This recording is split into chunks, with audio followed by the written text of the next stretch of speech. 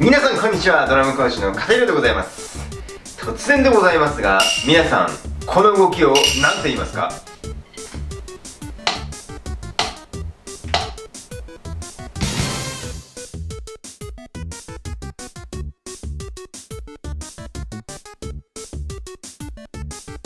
ドラムをやっているやっていないにかかわらずほとんどの人が叩くっていう言葉で表現するのではないかなと思います。ですが実は叩くではなく違う言葉で表現することで気がつける大切なことがあるんです。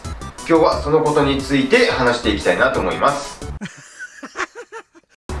じゃあ早速叩くではなく一体何なのかということなんですけれども答えは鳴らすです。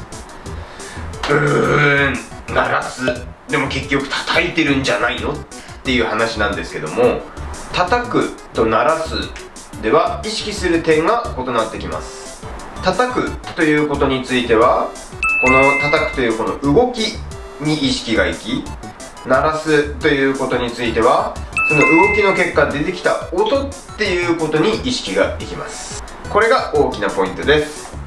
楽器を演奏する上で最終的に大切になってくるのがその楽器から出てくる音になります。練習台を叩きましょうといった時と練習台を鳴らしましょうといった時どちらが綺麗な音になるでしょうか。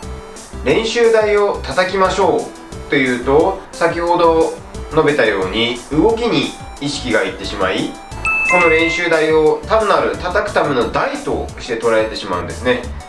結果的に出てくる音に気を使えていないということになりかねません。それに対して練習台を鳴らしましょうという言い方をするとその動きではなく最終的に出てくる音の方に意識を向けることができるので綺麗な音を出しての練習ができます。